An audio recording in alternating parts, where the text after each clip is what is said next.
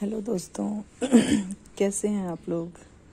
मैं आपकी friend Sangeeta Sangeeta immunity garden में आपका स्वागत करती हूँ, लेकिन आज मैं आपको गार्डन या पेड़ पौधों के बारे में कुछ नहीं बताऊँगी।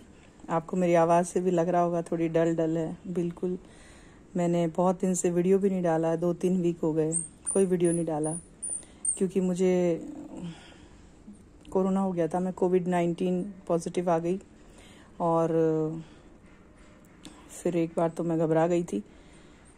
अब, आज पूरे ग्यारह दिन हो गए हैं तो मैं आज पहली बार थोड़ा सा बाहर आई हूँ, अपने इस छोटे से नन्हे से मेहमान के साथ, क्योंकि ये भी मुझे वहीं आइसोलेशन रूम में मेरे बेटे ने गिफ्ट के तौर पे ला के दे दिया। गिफ्ट क्या कहें दोस्तों, इसकी भी एक अलग दास्ता है। इस जब मेरे को कोरोना नहीं हुआ था, उससे पहले ये छोटा सा चीची, इसका नाम मैंने चीची रखा है। ये छोटा सा चीची जो है, ये अपने मम्मी के पास ही था मैं देखती थी कि इसकी मम्मी ने जो घोंसला बना रखा था, मेरे यहाँ पे जो गार्डन में बेल लगी है ना ट्रम्पेट वाइन और चमेली की बेल है, उन दोनों, वो दोनों जहाँ पे मिलती हैं, वहाँ पे पिलर है एक। वहाँ पे उसने एक प्यारा सा घोंसला बनाया और उस घोंसले के अंदर ये तीन बच्चे थे। तो उसने मेरे सामने ही घोंसला बनाया था पंद्रह दिन में और फिर उन बच्चों को पाल भी रही थी ताना वाना खिलाती थी, मैं देखती थी कि कीड़े मकोड़े कुछ ला ला के उनको खिलाया करती थी। फिर अचानक मुझे कोरोना हो गया और मैं ग्यारह दिन तो अब आज हो ही गए हैं। तो उस दौरान ही ये हुआ कि उसने अपने दो बच्चों को तो उड़ना, क्योंकि ये उड़ने लायक तो हो गए हैं। पंद्रह बीस दिन से तो मैं ही देख रही थी कि वो अपने बच्चों को कुछ ना कुछ खिला रही थी और उन्हें कोशिश कर रही थी कि उड़ने लायक हो जाएँ तो उनको ले जाएगी। लेकिन ये एक रह गया, इसकी वजह ये हुई कि मैं आपको बताऊँ, देखिए, मैंने इसका ये घोंसला ऐसा ही बना रखा है अभी, क्योंकि मेरे पास वहाँ जगह नहीं थी। ये जो इसने, चिड़िया ने जो घोंसला बनाया था, उसका एक ऐसा धागा था और ऐसा तीखा धागा इसकी गर्दन में फंसा हुआ था दोस्तों, जो निकल नहीं पा रहा था और इस वजह से ये अपनी माँ के साथ उड़ नहीं सका। तो मैंने फिर इसे अपने पास लाने के लिए कहा, क्योंकि मेरे बेटे ने देख लिया कि मम्मा, वो दोनों बच्चे तो उड़ गए हैं, लेकिन एक बच्चा अभी भी उस घोंसले के अंदर है। और तब तक मुझे पाँच दिन हो गए थे। दवाइयाँ लेते हुए और होम आइसोलेशन में। मैं अलग रूम में थी तो मैं देख नहीं सकती थी, बाहर आ नहीं सकती थी। उसने देखा तो उसने मुझे बताया तो मैंने कहा, भाई, ठीक है, आप मुझे इधर ला के दे दो। उसने वो घोंसला उतार के मुझे अंदर ला के दे दिया और उसे समझ नहीं आया। उसको जो भी एक ट्रे पड़ी थी ऐसी, ये देखिए, वो टूटी हुई थी ये ट्रे। तो ये फ्रिज के अंदर रखते हैं आइस ट्रे है तो वो ट्रे जो है, वो टूट गई थी तो उसने उसी में रख दिया। और मैंने इस घोंसले को, मेरे पास ये डिब्बा पड़ा था एक उसके अंदर रख दिया।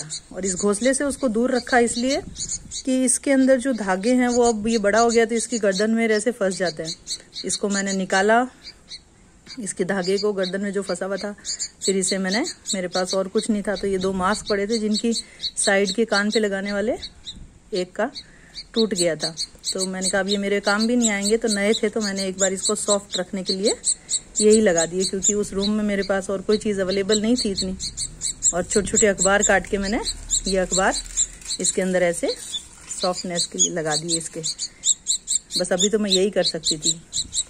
और फिर मैं इसे चिकपी और इस तरह की चीज़ें, क्योंकि वहाँ और मैं कुछ कर नहीं सकती थी उस रूम में तो मेरे बेटे को कहती कि इसके लिए कुछ मुझे ऐसी चीज़ दो जो मैं इसे खिला सकूँ। तो पहले तो मैंने इसे आटा सेक के और इनसे मंगवाया कि भाई थोड़ा सा वो सैलक टाइप बना दें। फिर मेरे को लगा कि ये खा सकता है वैसे भी। थोड़ा बड़ा है। तो फिर मैंने इसे एक दो दिन बाद चिकपी वगैरह, मैंने कीवी खाई तो इसको थोड़ा सा कीवी खिला दिया, पपीता खाया तो पपीता खिला दिया। और बहुत ही प्यारा है, बहुत ही क्यूट है। जरा सी एक आवाज़ होती है तो ये ऐसे मुँह खोल खोल के बातें करने लगता अब मैंने इसे खिला रखा है।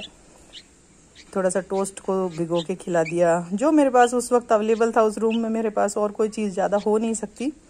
आज मैं बाहर आई हूँ, अब तो ये मैं थोड़ा इसे उड़ना भी सिखा रही हूँ। अब देखिए, पंख खोलने लग गया है।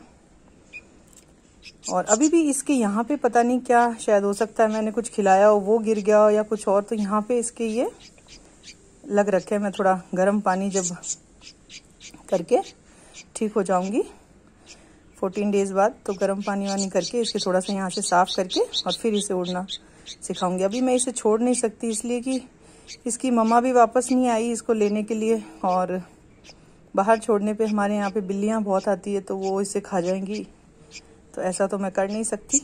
और दोस्तों, किसी को बचाने का जो सुख होता है ना, वाकई में, क्योंकि जब आप खुद ऐसी स्थिति से निकल रहे हो कि आपको भी लगे कि आप जीवन और मौत के बीच में झूल रहे हैं, उस वक्त आपको भी मौका मिले किसी और को ऐसी स्थिति से निकालने का। तो यकीन मानिए, बहुत ही अच्छा लगता है। बोलते बोलते मेरा सांस फूल रहा है। क्योंकि फेफड़ों पे इसका वाकई में बहुत असर पड़ता है। प्लीज़ आप लोग ध्यान रखिए। मुझे कैसे हुआ, मुझे खुद नहीं पता। मैं पिछले पंद्रह बीस दिन से घर में ही थी। इवन गेट तक भी नहीं आई हूँ बाहर। और इतना ध्यान रखती हूँ। फिर भी कैसे हुआ, मुझे नहीं पता। मेरे घर में और सब सेफ़ थे। एक मुझे ही हुआ। उसके बाद अभी मेरे बेटे को भी आ गया है। पर चलिए, उसके ऊपर तो मैं आप लोग कहेंगे तो अपनी पूरी स्टोरी शेयर करूँगी। पर अभी तो बस मैं यही कि छोटे से इस चीची को बचाने की जो पूरी स्टोरी थी वो आपको बता रही थी कि ये दिन मेरे थोड़े से इसके कारण मैं बिज़ी हो गई और भूल गई अपने दुख को भी। और मुझे बहुत अच्छा लग रहा है कि आज ठीक है और मैं इसे थोड़े दिन में उड़ा भी दूँगी। इसे खाना खिलाती हूँ, एकदम माँ की तरह इसे पालती हूँ तो मुझे बहुत अच्छा लगता है। और ये भी बहुत खुश है। अब मैं इसे अंदर ले जा रही हूँ। क्योंकि इससे ज़्यादा बाहर आने की मुझे भी इजाज़त नहीं और काफ़ी हवा चल रही है। मैं आज पहली बार ही बाहर आई हूँ थोड़ा सा इसे लेके, क्योंकि अंदर इसको इतना उड़ने का मौका नहीं मिलता है रूम में। अब मैं इसे अंदर ले जाती हूँ। ये अब हम अंदर आ गए हैं दोस्तों। ये देखिए। और मैं इसे ऐसे थोड़ा सा हाथ से भी खिला देती हूँ कभी कभी और कभी थोड़ा सा इस छोटी सी चम्मच से भी खिला देती हूँ। ये देखिए। इस तरीके से ये खा लेता है। और ये इसकी इसकी जगह है जहाँ पे मैंने इसे रख रखा है। क्या करूँ? और मेरे पास कोई जगह नहीं थी। चलिए दोस्तों, फिर मिलते हैं। ऐसे ही ज़िंदगी बचाते रहिए। खुशियाँ बांटते रहिए। सेफ़ रहिए। Stay safe, stay home. Please अपना ध्यान रखिए और दूसरे पशु पक्षियों का भी।